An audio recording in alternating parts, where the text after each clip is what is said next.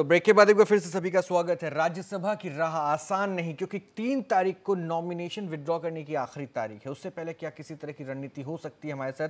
BJP से hero Vajpayee और राकेश यादव सपा से जुड़े हुए हैं, जिनसे हम चर्चा कर रहे हैं। सीधा अपने मेहमानों के पास चल रहे हैं। राकेश जी ब्रेक पे जाने से पहले सवाल बीजेपी ने उठाया था आपके ऊपर कि तीन तारीख से पहले आप कई पैतरे यहाँ पे आजमाने की कोशिश में है। शायद इसी रणनीति के तहत आपकी तरफ़ से काम भी किए जा रहे हैं। ये इल्ज़ाम बार बार बीजेपी क्यों लगा रही है? आपको कह रही है कि कांग्रेस कहीं ना कहीं चुनौती मैंने ये बात आपसे पहले भी मैंने ये बात कही है कि इनका काम ही आरोप लगाने का है। मैं आपको बता रहा हूँ कि दो सौ उनतीस विधायक हमारे पास हैं। सात लोगों ने राज्यसभा के लिए नॉमिनेशन किया जिसे कल तीन तारीख को वापसी की डेट है। हम लोग बिल्कुल हंड्रेड परसेंट श्योर हैं कि हमारे सातों के सातों राज्यसभा सदस्य नामित होंगे और वो माननीय नेताजी ने और तमाम हमारे जो वरिष्ठ नेता उन लोगों ने उस चीज़ के लिए पूर्ण रूप से कसर कसर लिया रही बात इनकी आरोप लगाने की बात आरोप ये लगाते रहे लेकिन आरोपों पे उनमें रखा क्या? कुछ आरोप बताएँ तो सही अच्छा सर प्रीति महापात्रा की एंट्री से आपको लगता है इनके यहाँ तो ऐसे ही इनके यहाँ तो पैरासूट से ही आते हैं। हाँ। अब आगे प्रीति महापात्रा को ले आए हैं। अब प्रीति महात्रा महापात्रा अब दावा कर रही है कि हमारे पास बीस लोग हैं तो समाजवादी पार्टी उत्तर प्रदेश इतनी बड़ी पार्टी है क्या उनके पास नौ लोग नहीं हो सकते क्या? तो हम लोग तो बिल्कुल श्योर हैं एकदम बिल्कुल। और कल नॉमिनेशन हमारे सातों लोगों के रहेंगे और आपके बीच में हम फिर बात को अपने को फिर रखेंगे क्योंकि हमें बिल्कुल कोई निष्पक्ष नहीं है इस बात को कहने में कि हमारे सातों प्रत्याशी कल नॉमिनेशन में पक्का करके और जीत के आपके मतलब आप आप ये कह रहे हैं नेशनल वॉइस पे ये कह रहे हैं कि आपके सातों प्रत्याशी कल नॉमिनेशन कर रहे हैं कोई विड्रॉल की बात नहीं कोई विड्रॉल की बात नहीं है क्योंकि हम लोग श्योर हैं पक्का। अच्छा और ये प्रीति महापात्रा के आने से कुछ ट्विस्ट एंड टर्न आएगा क्या? कुछ भी नहीं क्या क्या क्या पड़ेगा आपके दल पे नहीं किसी और दल पे भी? कुछ आपको ऐसा लगता है? देखिए आज अगर इसी तरीका से हाँ।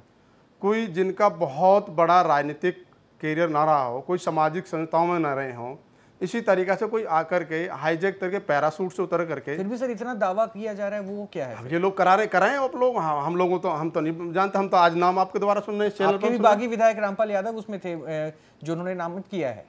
अब चलो वो उसमें ज़्यादा हम वो नहीं कह सकते लेकिन जो नाम आज सुन रहे हैं प्रीति महा- महापात्रा का जी का हम आज पहली बार हम उनका नाम सुन रहे हैं। नहीं सर दो दिन से तो नाम चर्चा पे सर नॉमिनेशन किया गया है। परसों नॉमिनेशन हो गया फिर दो दिन से तो चर्चा में है सर आपकी भी तो जानकारी में होनी चाहिए थी ये बात क्योंकि बहुत इस पर ये चल रही बात है कि 20 कैंडिडेट का वो उनके पास सपोर्ट भी मिल रहा है। नहीं अब जहाँ तक हमारी अपनी बात है हम अपनी बात कर रहे हैं हम दूसरों की बात हम नहीं कर रहे हैं। हम अपनी बात ये कर रहे हैं कि हमारे पास दो सौ उनतीस विधायक हैं। और जहाँ तक प्रीति महापात्रा जी की बात है उनके पास वो कह रही है कि दावा कर रही हैं हमारे पास 20 लोग हैं। तो 20 कौन हो सकते हैं सर? मैं वही वही मैं- मैं बता हम बिल्कुल श्योर हैं। हमारे जो पार्टी के विधायक हैं हंड्रेड परसेंट कोई भी पार्टी का समय हमारा चाहे अच्छा रहा हो समय बहुत खराब रहा हो। बीजेपी तो कह रही है तो सर। हम लोग कभी भी टूटे नहीं हैं। हमारा दल समाज पार्टी का दल कभी नहीं टूटा। न ही कभी क्रॉस वोट किया समाज पार्टी ने। वो माने नेताजी के दिशा निर्देश के अनुसार ही सब लोग चलते हैं। जो माने नेताजी का दिशा निर्देश जो मिलता है हम उस पर ही काम करते हैं। और रही बात उनके दावा करने की तो दावा कल आपके सामने पता लग जाएगा। अच्छा राकेश जी अगर 20 का दावा किया जा रहा है तो इसमें मैं ये थोड़ा समझना चाह रहा था आप, आपसे कि आखिर इस दावे के पीछे तथ्य तो है बीजेपी कह रही है कि हम सपोर्ट कर रहे हैं जो हमारे रेस्ट ऑफ़ द विधायक बच रहे हैं। उसके बाद फिर आपको क्या लगता है फिर कौन सपोर्ट करेगा? क्योंकि कांग्रेस को भी ज़रूरत है दूसरी तरफ़। देखिए मैंने अभी थोड़ी देर पहले मैंने आपको बताया कि जो हमारे विधायक हैं वो हमारे विधायक समाजवादी पार्टी के उम्मीदवारों आपको लग रहा है कि बसपा के 12 भी बचे मैं उस वो जानना चाह रहा था क्या बसपा सपोर्ट कर सकती है क्या? देखिए बसपा सपोर्ट कर सकती है। हंड्रेड परसेंट कर सकती है तो दोनों लोग मिले हुए अंदर खाते दोनों लोग मिले हुए हैं। अच्छा बीजेपी और बसपा? बसपा मिली हुई है दोनों आप कर सकते हैं आपस में। नहीं कांग्रेस तो ये इल्ज़ाम लगाती है ना सर कि सपा और बीजेपी मिलकर तमाम चीज़ें करती है वो मिले हुए हैं और सिर्फ़ नहीं नहीं कभी भी कभी भी नहीं हो सकता। भारत भारतीय जनता पार्टी से समाज पार्टी का कोई मतलब ही नहीं है तालमेल का। कि हम हमारी पार्टी अलग पार्टी काम कर रही है विकास के काम कर रही है उत्तर प्रदेश के अंदर आप लोगों के सामने है टोटल हम लोग इनसे क्यों टाइप करेंगे? हम लोग इन चीज़ों से किसी चीज़ में कम है। हमारे अंदर आज दे, देख लिए अपने बल पे माने मुख्यमंत्री जी आज उत्तर प्रदेश के अंदर दो सौ उनतीस विधायकों लेकर के काम कर रहे हैं उत्तर प्रदेश के अंदर। टोटल जितनी विकास योजनाएँ चल रही आप लोगों के सामने अगर मैं बैठ जाऊँ आपके चैनल पर मैं समझता हूँ कि चार घंटे में उन विकास योजनाओं को ना गिना पाऊँ मैं। हीरो वाजपेयी साहब आप बीजेपी की बात अगर की जाए तो ये कहा जा रहा है सपा की तरफ़ से कि बसपा के साथ मिलकर आप रणनीति तैयार कर रहे हैं। और 20 का दावा भी अगर किया जा रहा है तो शायद हो सकता है ये कॉम्बिनेशन हो। देखिए साहब हमने पहले बताया कि हमारा एक प्रत्याशी है।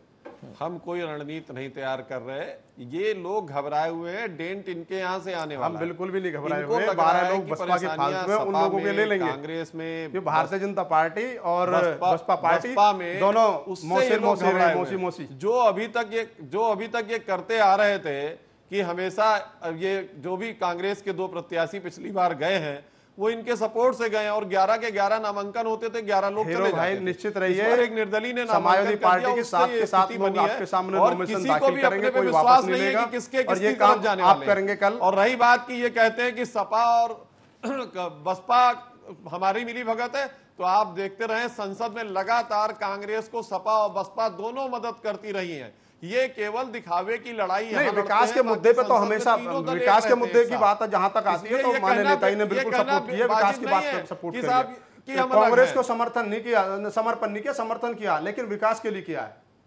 अगर नेताजी ने समर्थन किया है समर्पण नहीं किया समर्थन किया तो वो विकास के मुद्दे के लिए बात किया आपकी तरह नहीं करेंगे? जिस तरीके से भारतीय जनता पार्टी करती है जो वो भारतीय जनता पार्टी वो समाज पार्टी विकास कभी की बात करने आया उसमें बीजेपी का कोई लेना देना नहीं है। बीजेपी ने अपना एक प्रत्याशी उतारा है और जो भी ये डिबेट चल रही है चैनलों पर और जो भी समाज में चल रहा है वो घबराहट बाकी तीन दलों में क्योंकि बीजेपी का एक प्रत्याशी और भी वो नहीं निश्चित जीत रहा है। जो घबराहट है वो बाकी तीन दलों में है। किसके किधर चले जाएँगे या तीनों नहीं जानते क्योंकि उत्तर प्रदेश का चुनाव सर पर है और नरेंद्र मोदी की नीतियों से नरेंद्र मोदी के कार्यों से प्रभावित होकर सभी दलों में एकदम निश्चित स्थिति है। रहिए जब तो दाल आज जो किसान जो दाल जो पैदा करता अपने खेत के अंदर दाल को किसान पैदा करता आज वो उस किसान को दाल नहीं मिलती। आप निश्चिंत रहिए बिल्कुल। अरे साहब गाँव गरीब किसान बेरोजगार युवा बुज़ुर्ग किसी के लिए भी ऐसा नहीं छोड़ा है मोदी जी ने जो योजनाएँ नहीं दी हैं। इसलिए ये जो नारा है हमारा सबका साथ सबका विकास उनको उसी से घबराहट मची है। अगर लागू और आपको तो देखिए हैं। सभी दलों पर जैसे कांग्रेस समेत दोनों दलों पर भ्रष्टाचार के घोषणा पत्र और हमारी साढ़े चार साल के अंदर लागू कर दिया। ये होता है काम। और उसके फुटप्रिंट भी दिखने लगे हैं आपको। आसाम में अभी हम जीत के आए हैं जहाँ पूर्वोत्तर में हमने कभी खाता नहीं खोला था हम जीत के आए अब बिहार में जीत नतीजा तो? यही है कि भ्रष्टाचार तो बिहार में जीत गए थे। और आप तीनों दल दिल्ली में जीत गए। आप तीनों दल उससे जुटे हुए हैं। दिल्ली में जीत गए, उत्तर प्रदेश में आने वाले चुनाव में नरेंद्र मोदी के नेतृत्व में अमित शाह के कुशल संगठन के नेतृत्व में आप सब आपके बिल्कुल स्टार एकदम प्रचारक हैं आदरणीय नरेंद्र मोदी जी। इसलिए ये आप घबराहट उत्तर प्रदेश के अंदर तो बिल्कुल। जो हाल आपका बिहार में हुआ है वो उत्तर प्रदेश में होगा। राज्यसभा में क्या की वजह से और राज्यसभा में भी यही होगा। कैसे सर? उनके पास तो कॉम्बिनेशन है एक तो नहीं कॉम्बिनेशन तो हमारे पास भी पूरा कॉम्बिनेशन है। हमारे को कोई घबराहट नहीं हमें एक मिनट भी घबराहट की दिक्कत नहीं है।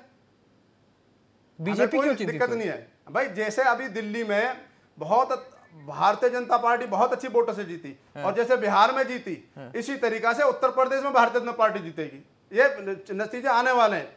माने मुख्यमंत्री श्री अखिलेश यादव जी ने साढ़े चार साल के अंदर जो घोषणाएँ की थी उन घोषणाओं को समय से पहले पूरा कर दिया है। और इस चीज़ को जनता पूरी भली भांति जानती है उत्तर प्रदेश की कि जो उनको उम्मीद से उनकी उम्मीद से ज़्यादा कहीं खड़ा उतरे उत्तर प्रदेश के मुख्यमंत्री उतरे हैं। चलिए सर फाइनल कमेंट मैं अब यहाँ पे आप लोगों को शुक्रिया के तौर पे दूँगा, क्योंकि बहुत बहुत शुक्रिया। मेरे पास वक्त इतना ही है, लेकिन कम से कम ये जान लीजिए कि राज्यसभा की इस तस्वीर में एक एक जो खास पहलू कम से कम निकल कर सामने आ रहा है, ये ये कि बहुत दिलचस्प लड़ाई हो गई। क्योंकि बारहवें कैंडिडेट के आने के बाद अब तस्वीर ऐसी बनने लगी है कि किसके नाम पर मोहर लगने वाला है, कैसे उस आंकड़े को छू, छुआ जाए जो चौंतीस का है। और इसी चुनौती को तैयार करने के लिए एक खाका भी बुना जा रहा है। खैर कल, यानी तीन तारीख को नॉमिनेशन विड्रॉ करने की आखिरी तारीख है। इंतज़ार कीजिए, देखिए क्या तस्वीर बनती है और सबसे पहले